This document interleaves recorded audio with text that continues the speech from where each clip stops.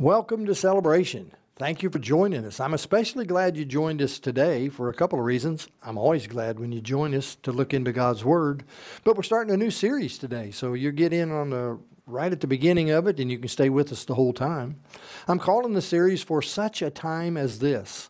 Now, many of you probably recognize that. Well, that comes from the book of Esther, and we're going to look at that story in a little bit. Uh, but there are many times. Uh, I think the one that we're going to look at here in Esther really is about a time to get involved. So that's uh, our title for today's message. Our series is about for other times as well. And I think if you'll stay with us as we go through those, that God continually places us in times or eras or just even circumstances uh, that we are there for a specific reason. And we are there for such a time as that, or for such a condition as that, or to talk to such a person as that. And so uh, we're going to look at some of those over the next several weeks. So I hope you'll stay with us. Uh, but we're going to look into the book of Esther today and uh, talk about a time to get involved. That Esther was there for this time that she needed to make the decision to get involved. Sure, if you know the story, she was there to save God's people, but to do that, she had to get involved and make that decision. So, in a little bit, we're going to read from chapter 4, just a few verses, when we get to the context where this title phrase comes from, for such a time as this. But let me just uh, remind some of you or inform some others who may not be familiar with the story of Esther and get you caught up to where this event took place. So you probably remember that there didn't used to be a Jewish nation. There was no Israel, and God sort of created Israel by choosing Abraham and Sarah, a couple, and in their old age, He miraculously helped them to have a child. And He said that I'm going to bless you and your descendants. And so from this child Isaac, there were sons, and then they had sons, and eventually uh, they grew into a family clan. And maybe you know the story how God protected them in Egypt, and they continued to grow. But God had made the covenant with Abraham to say that uh, he would bless Abraham, and his people would be greater than the sands of the sea in terms of number that uh, he would bless people who blessed them and curse those who cursed them. And eventually the whole world would be blessed through Abraham's seed. And so he created the nation Israel, from which, of course, we get the uh, human existence, the incarnation of the Son of God, when Jesus was born into this family of people, the Israelites. And so that's how the whole world has been blessed. The problem is that over time, these people forgot about God. And he was continually having to bring them back and, and use prophets and the laws and everything else to try to keep them dedicated to him. But they continued generation after generation to go after other gods, false gods, and idols from like the people around them. Well, eventually, as always is going to be the case, God finally has to have judgment.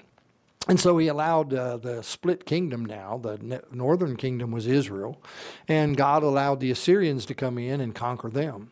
The southern kingdom was Judah, which included Jerusalem, the walls of Jerusalem, the temple of Jerusalem, uh, all of Judah and Judea, you're familiar with. And they lasted a little bit longer, but eventually Nebuchadnezzar and the Babylonians came in and they sacked Jerusalem. They tore down the walls, they tore down the, the temple. A lot of people were killed, and some of those people were deported uh, back to Babylon. And that's where you get the stories about Daniel and Shadrach, Meshach, Abednego, and even Esther in our story today. All took place in exile over in the Babylonian area. Now, the Babylonians had to give way to the Medes and the Persians. They conquered the Babylonians. So by the time we get to Esther's story, which is the whole book of Esther, uh, it's under Persian rule. And Ahasuerus is the king, and his queen Vashti is on the throne, and uh, he rules with an iron fist over this land. Among those exiles I talked about was a man named Mordecai, a Jew named Mordecai, who was a cousin to this young girl named Esther.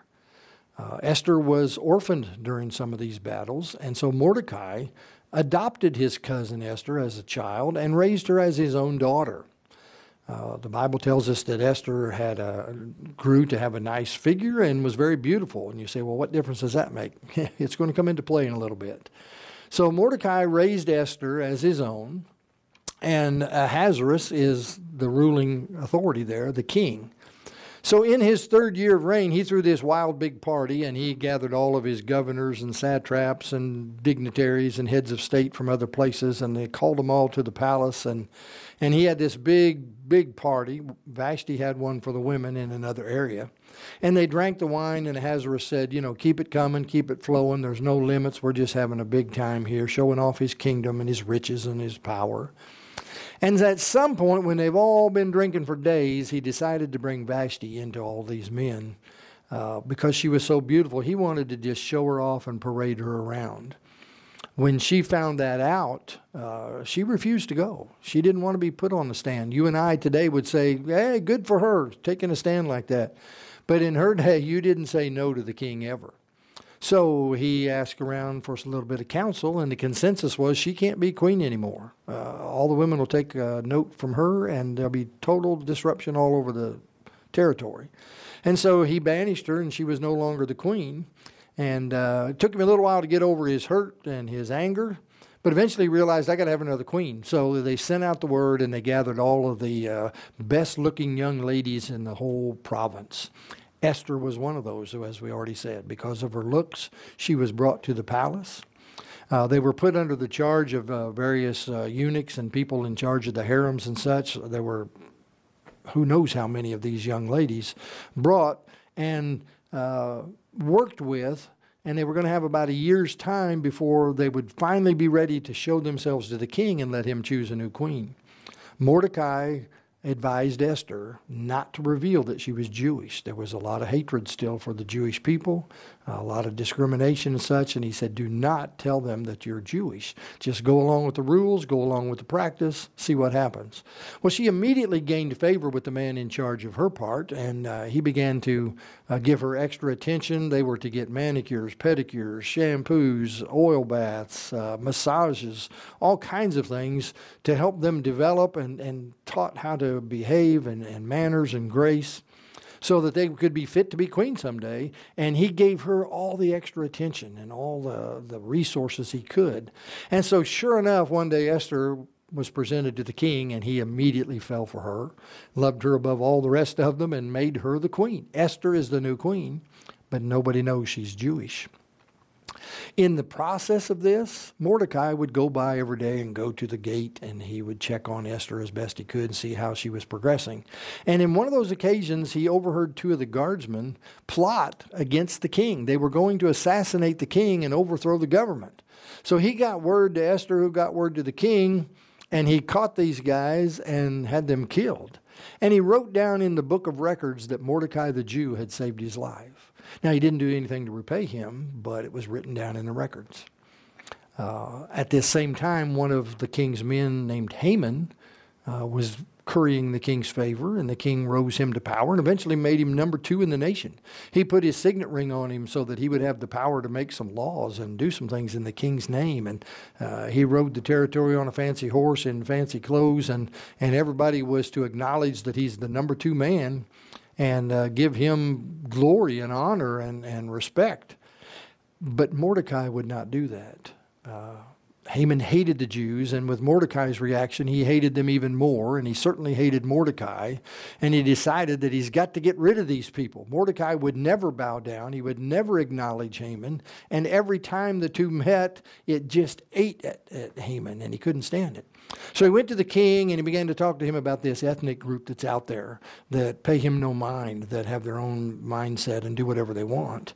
And so the king gave him permission and, and passed a law that on a certain month at a certain day, Haman and the guardsmen and the, and the armies were going to go out and destroy all the Jews that they could find. When Mordecai heard this, he went for Esther. And he sent a messenger to Esther with this plea for help and said that you need to go before the king and plead for your people. It's time to reveal who you are, that you're Jewish, and these are your people that are going to be destroyed. Even you could be destroyed. And you need to go talk to him. But Esther said, I, I can't. If you can't just go to the king. He has to hold out his scepter when he sees you to accept you or reject you, and I could be killed for this. And so that brings us to our verses where uh, in chapter 4, where Mordecai said, says Mordecai told the messenger to reply to Esther, Don't think that you will escape the fate of all the Jews because you are in the king's palace. So, in other words, he's saying, You're, you're not going to get away with this. Don't think about it. Verse 14 If you keep silent at this time, liberation and deliverance will come to the Jewish people from another place, but you and your father's house will be destroyed. Who knows? Perhaps you have come to your royal position for such a time as this. Well, Esther sent this reply to Mordecai Go and assemble all the Jews who can be found in Susa and fast for me. Don't eat or drink for three days, day or night. I and my female servants will also fast in the same way. After that, I will go to the king, even if it is against the law. If I perish, I perish. And so she has decided that she has to get involved. That's the point of our message today is for such a time as this. It was a time to get involved. And I think if there's ever been a time among God's people today among the church today that we need to get involved, it's today. Because there's so much going on around us. There's so much in our culture that's negative. There's so much uh, false information. I hate to even call it that. It's just lies, but not everybody understands they're passing on lies. So for them, it's information. It just happens to be false. And I'm not just talking about the pandemic, I'm talking about everything you can think of. People just hear things, say things, repeat things, post it on social media. We can't trust the government. We can't trust the medical profession. We can't trust each other. Uh, people are telling me you can't trust the church. They're saying you can't trust the Word of God. People are afraid. People uh, don't have knowledge themselves and can't trust where they're getting it. It's time that those of us who believe in God and trust the Bible to be the Word of God get involved. And so, by looking at Mordecai a little bit and Esther specifically, we get some ideas here about how and why we should get involved. First of all, let's look at godly purposes. We'll finish the story in a little bit, but we need to lay down these principles. That we're talking about getting involved in godly purposes, not just getting involved somewhere, gracious. You can get involved in sports. You can get involved in the school program. You can get involved in politics. You get involved at work. And I'm not saying any of these things are bad, but they are not our real purpose. Even family is only our purpose as we lead them to Christ and lead them in our godly relationships. And so, godly purposes. Mordecai understood this. And he gradually got Esther to understand that, that the right purposes to be involved in are based on spiritual needs, not just physical. It's not about you. It's not about me. It's about God and His purposes, and His purpose is to win people and reconcile them back to Him and to help us to be like Jesus. So, any purpose or any activity that we could get involved in that helps us help build spirituality in people based on scriptures, that's a godly purpose not the physical things, not even self esteem matters, not even uh, be the best you can be. No, be the best God can have you be based on spiritual matters. And so Mordecai brought Esther up that way. And then he said, Who knows but what this is why you're in this position? For a godly purpose, not to just be a good ruler, not to be a good wife to the king, not even to, you know, tip your hat to your own people, but to actually save them based on spiritual things. So it's beyond self. Since it's not about me, I got to get out of my comfort zone. I've got to get out of my goals and dreams and seek godly purposes. Those are the things to get involved in. Yes, you need a career. So maybe you need an education or get a trade. You need to have a good work ethic. All of those things are fine. You need to take care of your family. You need to help take care of others. But you need godly purposes and you need His designs and his plans. So get beyond yourself. And then Mordecai also understood, and finally Esther did as well, that godly purposes are built with sacrifice. We've talked about it before.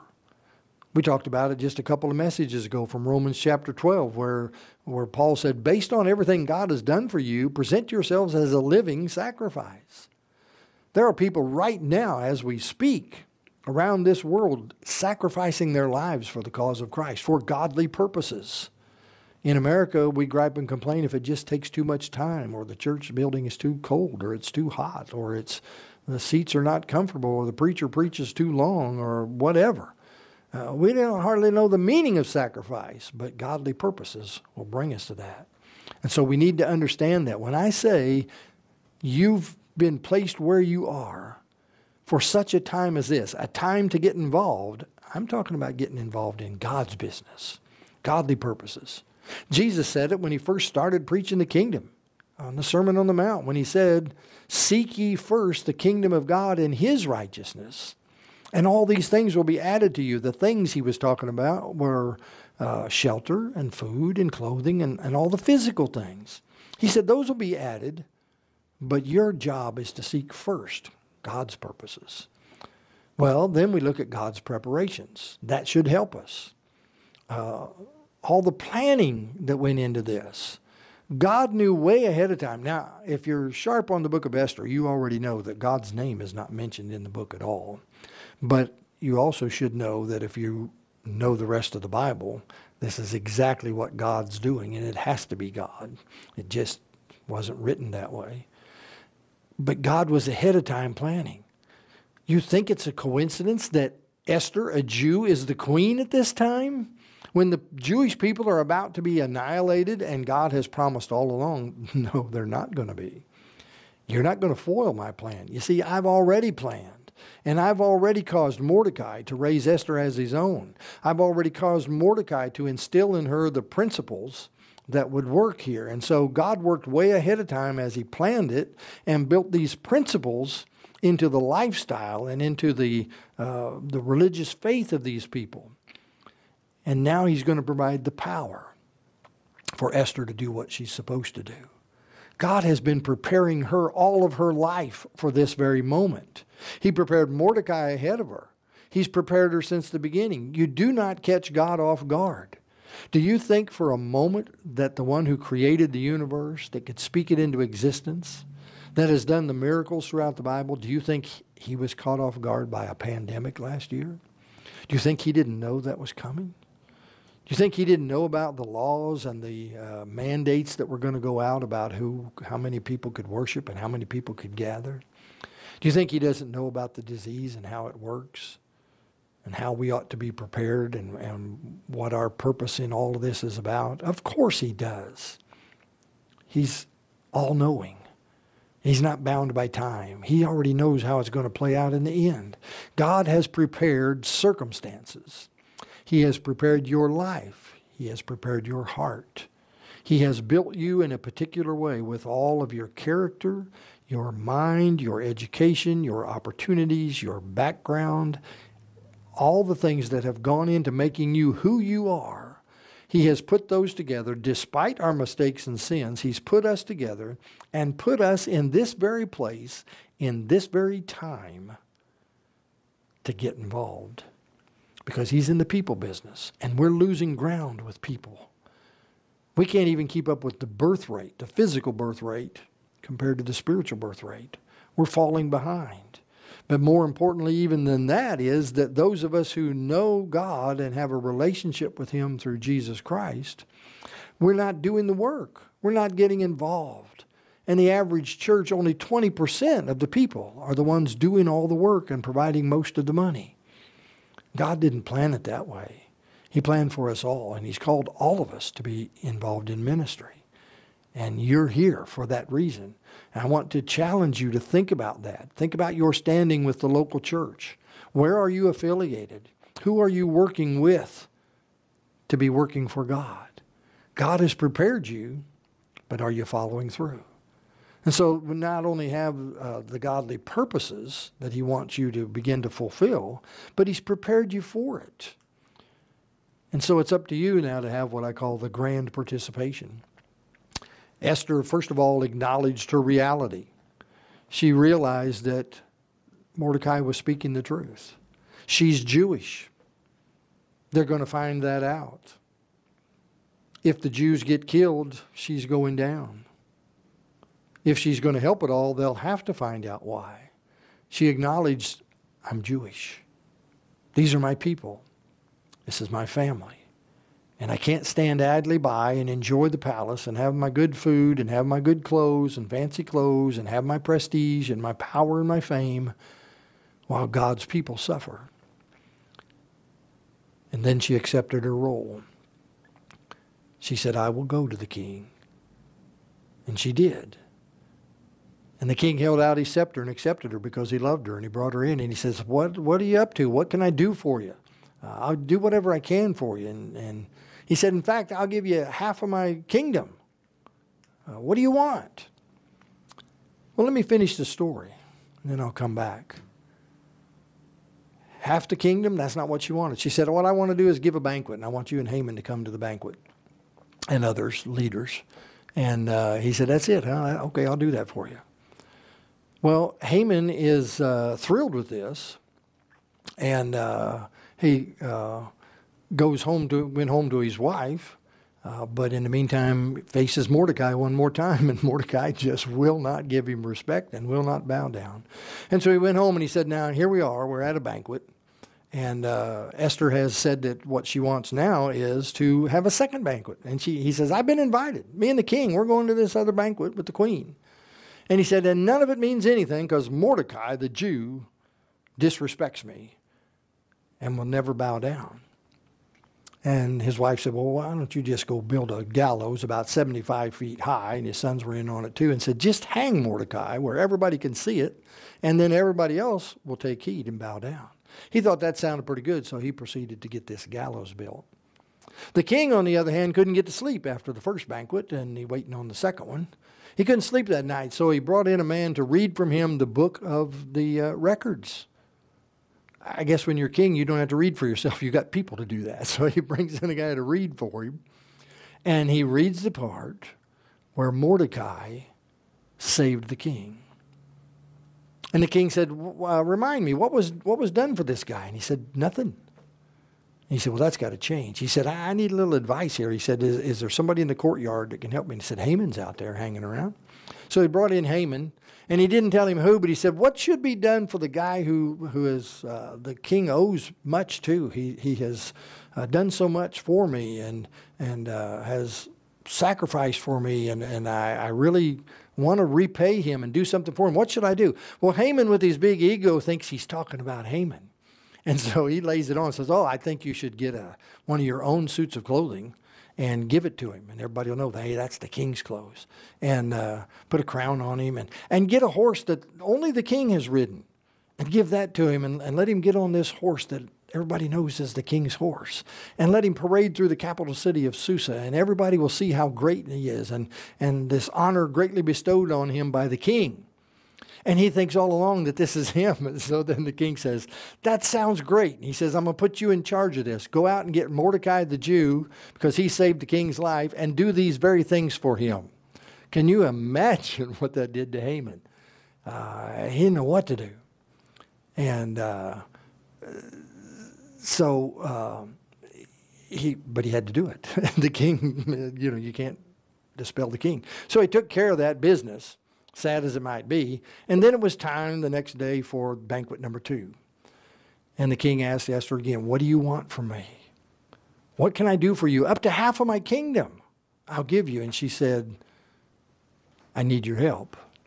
I'm Jewish. And my people, you've signed a decree that my people on a certain day and time are going to be destroyed. They're going to be killed. My family, perhaps even me because I'm Jewish.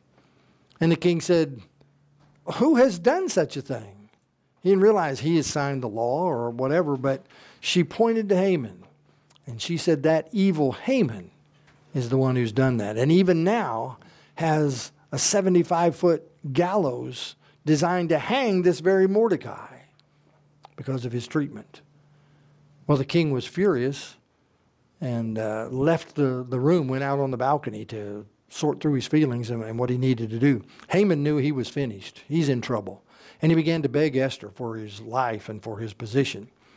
Uh, Esther was reclining on a couch there, and Haman was so distraught that he threw himself down on the couch and, and he began to beg. And just then Ahasuerus came back in and he saw Haman lying on Esther's couch with her sitting there beside him and he thought the worst. And he said, What are you doing? He said, You dared defile my wife in her own chambers in, uh, here in the palace.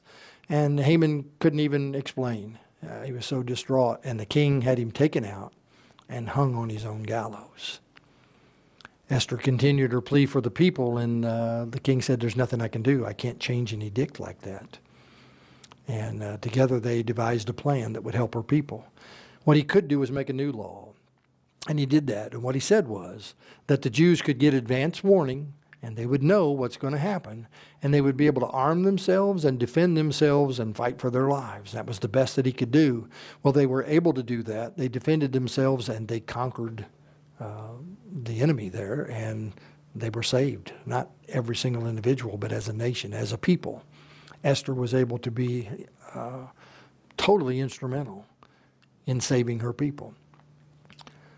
And so that's achieving the right results.